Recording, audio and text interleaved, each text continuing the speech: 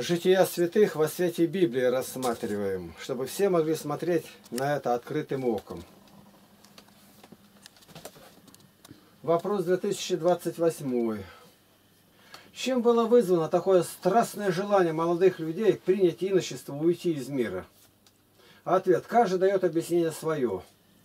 Если Дмитрий Ростовский или другой монах, то он это толкует избранностью от Духа Святого. Любой психолог даст объяснение более простое, неправильным воспитанием в семье, забитостью, боязнью женского пола и прочее. Есть страстно непреодолимое желание в людях от иного мира. В первую очередь, что не был руководим по Писанию. А вот так, пожелал и дай. Притча 18.1. Прихоть ищет свои нравные, восстает против всего умного. Эти непреодолимые желания потому, что так научили, что иночество это высшее в христианстве. Это ангелоподобная жизнь, почти гарант спасения и даже канонизации, или сан епископа, и даже можешь покоиться на алтарях по всему миру, когда тебя разнесут на пантиминцам. Было чего хотеть искренне желающим спасения. Нормального Христова христианства, веры евангельской не видели люди почти нигде, а только в монастырях видели отличие от мира. И приход туда приравнять можно только к уверованию, к первому шагу. А так как там уже решили, что это высшее, то и описывали эти монашеские подвиги монашеские обеты, монашеские ступени восхождения в доброделании иноческом. Примеры. Кирилл Новоозерский, 4 февраля. Еще будучи отроком, Кирилл почувствовал непреодолимое желание быть иноком. Тайно оставив родительский дом, Кирилл ушел из Галища на реку Обнору, в обитель преподобного Корнилия, о которой слышал от своих родителей. На пути туда Кирилл увидел старца, украшенного сединами. На вопрос старца, куда идет он, Кирилл отвечал, что идет к обители преподобного Корнилия. Одобрив его намерение, старец велел ему идти туда вместе с собой. Оглядываясь вокруг и не видя старца, Кирилл уразумел, что это было Божие посещение, и возблагодарил всем Бога. Вот. Больше ничего не надо. Вот когда считаешь тоже об великих людях, там у протестантов нет, у них никогда этого нет, ни одного нету за столетия. А он с детства был, хотел быть миссионером. И у него к этому все было направлено, учился, вот как Альберт Швейцер, лауреат Нобелевской премии. Ну, нужно было второе образование, второе получил. Здесь ничего не надо. Туда заткнулся, теперь делай все, что говорят. Мозги вообще не нужны. Не робот, зомби настоящий. И тут я после буду показывать по иноческим уставам, какие есть, как они издевались над ними, что они выкоморивали, вытворяли над ними, над этими послушниками.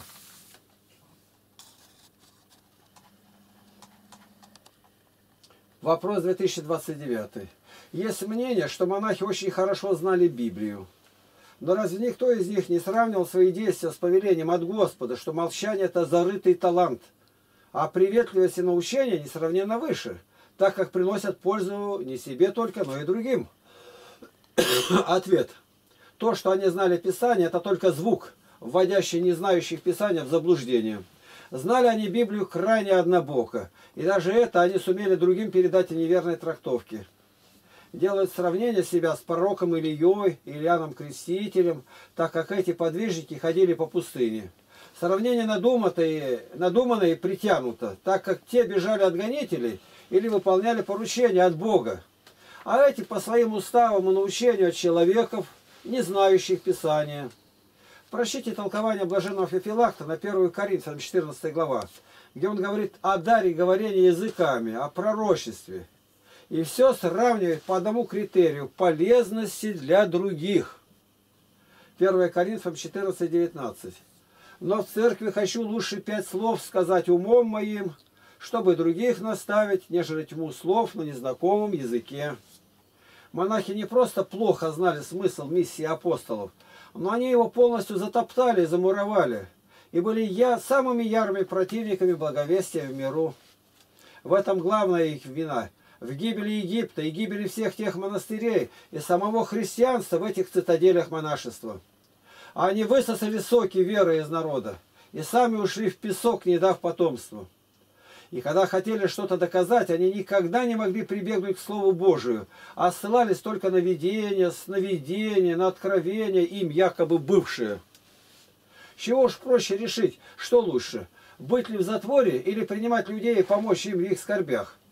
Но и тут видение тянет не в сторону Евангелия, а в сторону великого молчальничества, которое есть враг евангельской проповеди. Арсений Великий, 8 мая.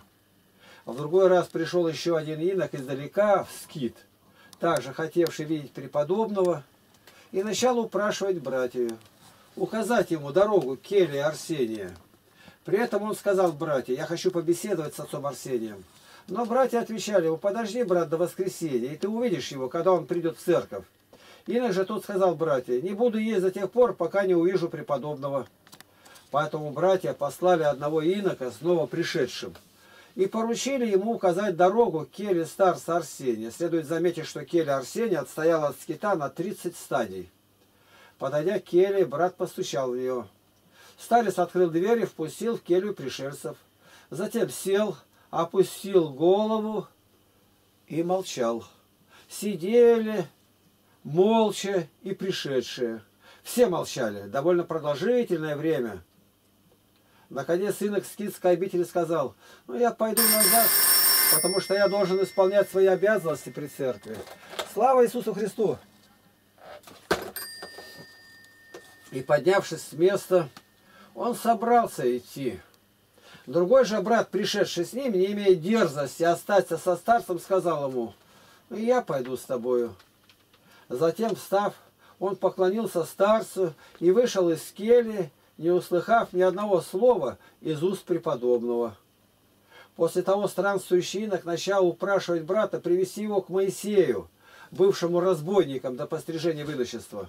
Брат согласился исполнить его просьбу и повел его к преподобному Моисею. Вот представьте, шел по пустыне, такое желание было, он о нем наслышался, готов умереть не есть, только увидеть его. Это какой-то, это какой авторитета его никакого нету. Это идолопоклонство настоящее. Есть не буду.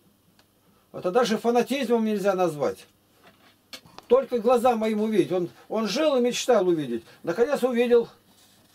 Уткнулись, руки между колен, голова опущена. И тот молчит, и этот. Ну, ну найдите, где в мире нормальные люди так себя ведут. Пришел издалека странник. И как оказать привет – ну, как Слово Божие это говорит, так как Христос поступал, как апостолы. Ежедневно принимал людей, ежедневно стечение народа. Притом это самый был мудрый человек во всей империи. Монашество изъело его. Там сердца никакого нет, там ржавая железка только. И все это молчальничество, монашество. Это самое ядовитое учение, какое только на земле было. Так не делал никто. Это не цыган ни один, не масон, не коммунист, не фашист, никто. К нему человек пришел. Это готовый ему сказать, наставить на пути. На что он наставит? Молчальничество выше всего. Бессловесная скотина, бессловесная. Поэтому со скотиной они находили язык. Разговаривали, птичек кормили, медведя гладили. А кто идет, от него спрятаться надо. Когда они пришли к Моисею, то сей последний принял их с радостью, предложил им отдохнуть, и подкрепиться пищей, и, оказав им большую любовь, отпустил их от себя. Дорогу из Киски брат сказал пришельцу, вот ты видал отца Арсения, отца Моисея. Кто из них лучше, по твоему мнению? То между собой разговаривают, идут. Простые ребята-то. Брат отвечал на это. Лучший из них тот, кто принял нас с любовью. То есть понял, что Арсений никакой там любви нету. Это просто засохший камень. А один инок, узнав об этом, стал молиться к Богу, говорят так, Господи, скажи мне, кто из них более совершен и заслуживает большей благодати Твоей? Тот ли, кто скрывается от людей ради Тебя? Или тот, кто принимает всех также ради Тебя? Ему только откровение надо, ума тоже не надо. Ну что непонятно, в одном месте тебя накормили, напоили, спать уложили, а в другом ни одного слова нет, что ты зашел на окаяну и уйдешь. Ходят тут мельтешатся, под ногами путаются, я с Богом разговариваю. Они мешают мне разговаривать. И заметьте, какие у них видения. Этот инок в ответ на молитву свою имел следующее видение. От сатаны это от Бога их не интересовало. Главное видение. Ему представились два корабля, плывшие по какой-то очень большой реке. В одном корабле находился преподобный Арсений, и Дух Божий управлял кораблем его, соблюдая его в великой тишине.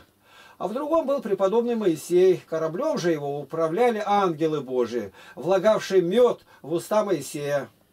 Об этом видении Инок, это еще только видение, теперь надо растолковать. Рассказал другим, более опытным подвижникам, которые захрясли окончательно, уже высохли. И все нашли, что более совершенен Арсений, пребывающий в молчании, нежели Моисей, принимающий странников, потому что с Арсением пребывал сам Бог, а с Моисеем же были только святые ангелы. Их нельзя было сдвинуть с места, это отравленное, выжатое, как говорится, сухой лимон – ну тут ясно уже. Брат первый раз пришел, конечно, кто оказал большую любовь. Принимали странников. Даже она умывала ноги. Господь сам умывал ноги. Ничего подобного. А зачем голова? Она не нужна. Сердце тоже не нужно. Видение, видение. А видение тут сатана крутил налево и направо. И видение какое? Лучше, конечно, тот, кто молчит. Тот Моисей-то. Вот разбойник он вывернулся тут. Вот как бы его не было, вопроса не было. А то еще надо было ждать видения. Они все знают по сегодняшний день Арсений великий, а Моисей не великий. Его нет этого приставки великий-то. Это сегодня все так и осталось в житиях святых. Я вчера разговаривал по скайпу э, из Литвы с католиком. Вот вы против монашества так вот как так, а вот монахи это организовали первые университеты, и там они ехали, специально готовили проповедников, миссионеров по всему лицу земли. Так я говорю, я по вашим-то не говорю. Я это знаю. Я говорю по 12 книгам Дмитрия Ростовского. У католиков действительно готовили миссионеров, они ехали. Почему за 20 столетие 21. Нигде в православии, нигде, ни в одном патриархате не родилась такая, как мать Тереза. Почему? Или вопрос задавать нельзя? Ну, тоже задавали вопрос. Видение не надо. Почему? И начала с чего она? Она шла в закон. У папы выпросила разрешение быть в миру, работать. Пожалуйста, тут нельзя, тут уставы как будто все замерло, ни одного устава нельзя изменить, никак. Дух Святой перестал трудиться. Да уставы эти менять, может, уже сто раз было. Собраться собором и заменить. Они не вечные уставы-то, это, это не Слово Божие, не Библия. Уставы приняты, каноны церкви человеком. Человеком они отменять все могут. Но не самовольно, не как папа решил один отменить. -то. Я вчера ему сказал. Это делает только соборное собрание. Епископов точно так же. Теперь э, Библия есть у православных, а картины есть. Ну какие картины? Как будто э, ребенок рисовал какой-то. Смотришь горы какие-то, там какой-то копыта торчит кверху. Рисовать не умеют. Как бы нету, там что-то заключено, это то другое. Почему Гюстава Даре не породили ни одного такого иллюстратора? Почему? Да и не могло его быть.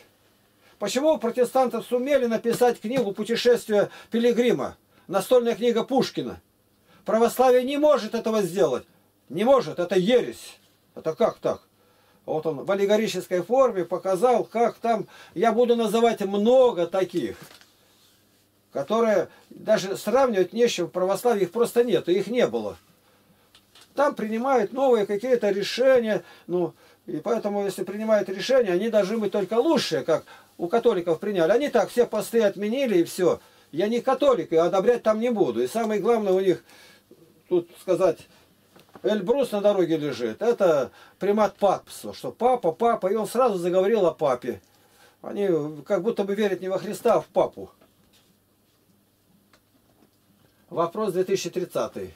Учит ли нас Господь с любовью, в кавычках, захлопывает двери перед страждущими научения в вере, сомкнуть уста, оставив страждущих без утешения – если тебе Бог дал веру, то почему бы этой спасительной верой не поделиться с другими? Вопрос. Ответ. Молчание – это усиленный труд по закапыванию таланта. А об этих последствиях уже прямо сказано в Евангелии. Торжественный ход Христовой веры по планете был положен титаническими усилиями не монахов. Монахи же закопали не свой талант только, но талант вселенской проповеди – Тогдашние служители слышали голос Божий, посылающий их даже за одной иностранной душой. Деяние 8, 26, 29. А Филиппу ангел Господень сказал, встань и иди на полдень к югу, на дорогу, идущую из Иерусалима в Газу, на ту, которая пуста. Он встал и пошел. И вот муж Эфиоплянин, Евнух, вельможа Кандаки, царицы Эфиопской, хранитель всех сокровищ его, приезжавший в Иерусалим для поклонения.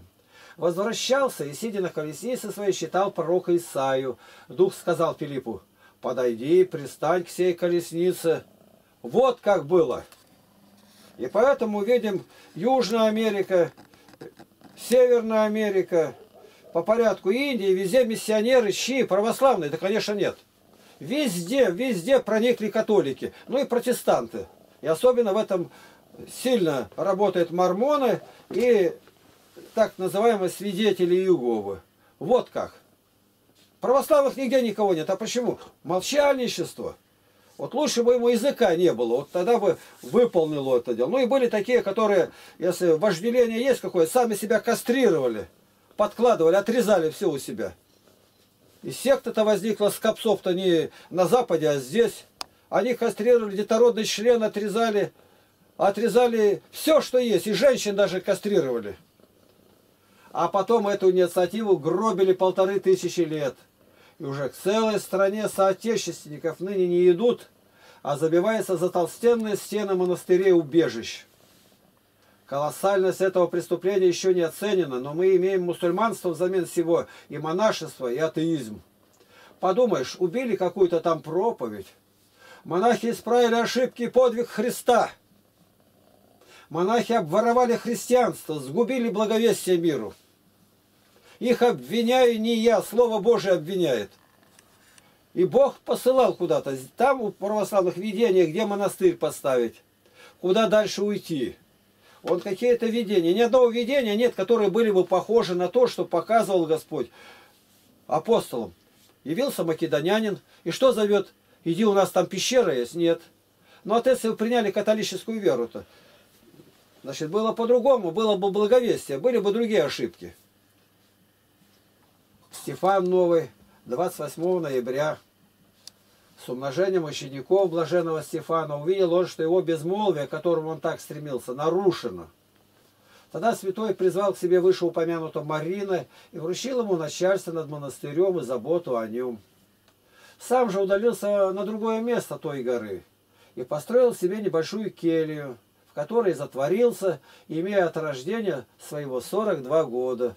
Еще сколько бы он добра-то сделал-то, а зачем? Молчальничество. Но и на новом месте своего подвижничества. Блаженный Стефан не мог избежать желающих получить от него пользу для души своей. Какая польза, когда разговаривать нельзя? Преподобный же устроил для себя столб, а на нем тесную хижину. Взойдя на столб, он затворился в той хижине. В то время ему было 49 лет от роду. Лука Столпник, 11 декабря. Ревнуя о высшем духовном совершенстве, он обложил тело свое железными веригами и, взойдя на столб, соблюдал столь строгое воздержание, что в продолжении шести дней недели не принимал никакой пищи, и только в седьмой день вкушал приносимую просвору и немного овощей. Так на столпе провел он три года. Потом, призываемый божественным внушением, пошел он на гору Олимп, оттуда перешел в Константинополь, и чтобы не нарушать своего обета молчальничества, вложил себе в рот камень и, наконец, удалился в город Халкидон. Еще камней-то мало-то, их просто монахи забрали в рот. Там он тоже вошел на столб, и прославляемый многими чудесами, провел на нем 45 лет. Так, совершив благочестно путь земной жизни, святой Лука отошел в обители Небесного Отца. Ну это-то святой в небесной обители, это от откуда знать-то?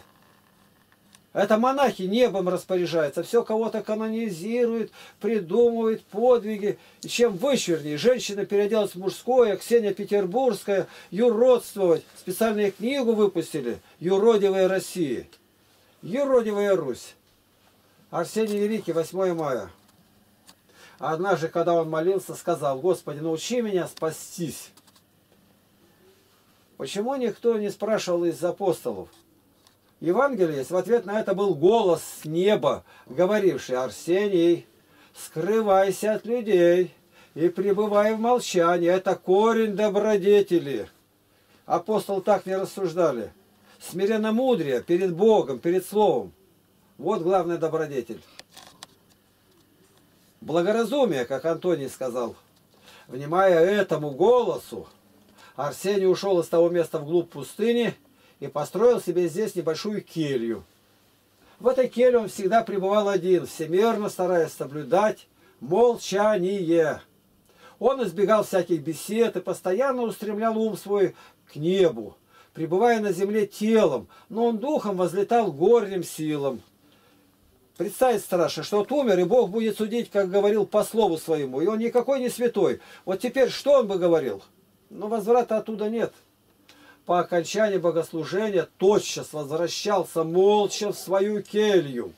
При этом он никогда не вступал ни с кем в разговор.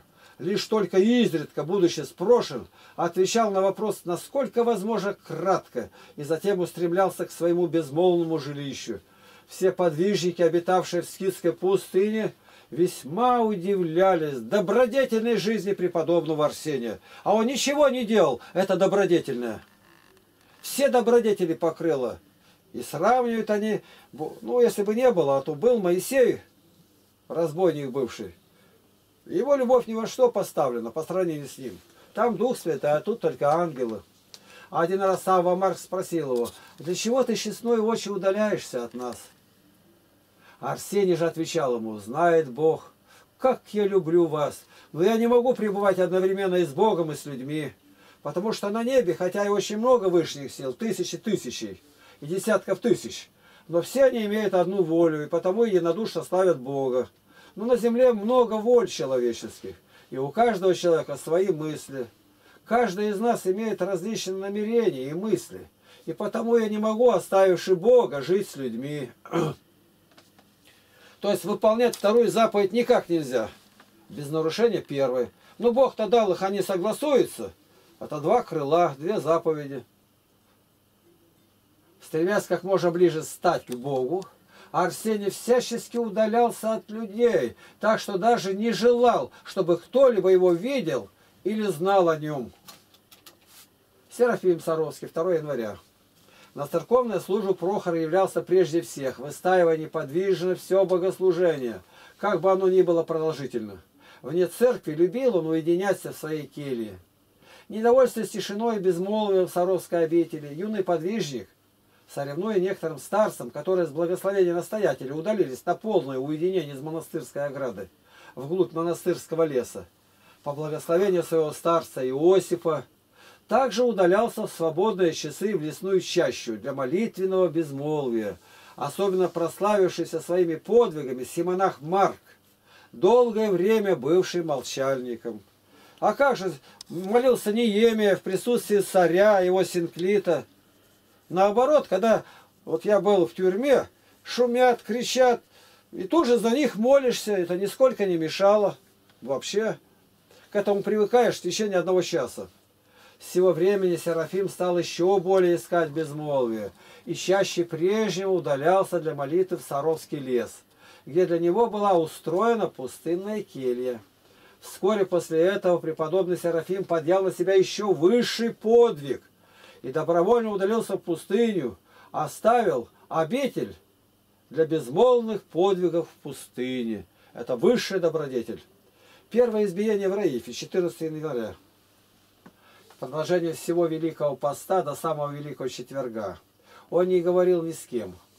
Во все это время пища его состояла приблизительно из 20 фиников, питье из одной кружки воды. И этого, по свидетельству его ученика, часто доставало ему до самых страстей Христовых. Будучи родом из Фиваитской страны, он прожил при нем в безмолвии 46 лет, ни в чем не отступая от правил своего отца – и был примером для прочих молодых иноков. Правило Отца, не правило Божье. Всем вам хорошо известно, что мы по любви Господу нашему Иисусу Христу удалились из суетного мира и, пребывая в этой суровой пустыне, удостоились поднести его благое иго. В голоде, жажде, крайней нищете. Это не его иго. Это по дурости люди сами придумали, не зная Евангелия. Какое это его иго? Иго то, что от Бога. Я несу поругание, меня гонят. Я молюсь, Господи, удали от меня. Он говорит, довольно благодати моей. Ты так много получил. Закаляйся. Сава Сербский, 12 января. Многие иноки избирали для себя подвижничество скидское. Собираясь по два или по три, иноки предавались подвигам молчания и богомыслия. Феодосий Печерский, 3 мая. Братья обители, приходившие к преподобному ежедневно перед утренней, брать благословение для начала богослужения, всегда слышали из-за двери, как игумен весь в слезах творил молитву, часто ударяя головой о землю. Ударяя головой о землю. Преподобный же, услышав шаги, их умолкал и принимал вид спящего. Так что братьям приходилось иногда раза по три стучать в дверь, произнося каждый раз слова «Благослови, отче!» То есть службу начать не могут без него. Это самое настоящее идолопоклонство. На службу какое благословение, когда она от Бога. А нет, вот такой порядок, надо пойти, а он там выкомуривает, придуряется, тратит время. Тогда преподобный, показывая вид, что он только что проснулся, видно, позевает. Ну кто там? Отвечал, Бог да благословит вас. И дав благословение, прежде всех приходил в церковь. Рассказывали, что он поступал так каждую ночь. А при, попробуй к нему, вот не пришли, раз, другой, третий, что он будет думать? В них вот эта самость, она въедалась в каждую пору. Они много говорили о том, что человек, гордость, гордыня, да где еще больше гордыни-то взять можно было? С собой заменили Бога. Он мог оттуда ответить, ну что вы дурите-то? Положено службу начинать в 6 часов-то, ну начинайте ее. Причем тут я? Ну во всех храмах-то служба начинается, и монахов нету, и служба идет. Ефимия Новая, 15 октября. Укрепившись в добродетелях киновиной жизни, Ефимий решил отправиться в пустыню, чтобы там, в безмолвии, достигнуть еще большей близости к Богу. Оставался еще не пройденным путь строгого безмолвия. Далеко все время разносилась слава об афонских подвижниках, и к ним-то решил теперь отправиться Ефимий. Слава за безделье, за молчальничество. Иларион Великий, 21 октября. Святой очень огорчался, что приходившие не давали ему безмолвствовать, и плакал, вспоминая молчание первых дней, когда он был один в пустыне. Какое тут ораторское искусство! Ну, были там отдельные, восставали один на столетие, а то и этого не было. А тут-то никакого не надо труда, род на замок. Вопрос 2031. Чем мотивировали святые свой подвиг молчания? Как-то объясняли же они свою замкнутость и нежелание сказать даже слово приходящим к ним. Сравнить бы с теми, кто свободно разговаривал. Ответ. Ребенку сказали, что с руками немытыми можно занести инфекцию в рот. Выходов много. Мыть чаще руки, не брать заразное, полоскать рот, есть чеснок и лук, проверяться у врачей. Но кто-то подсказал, лучше всего заклеить рот – связать руки, обмотав их как мумию.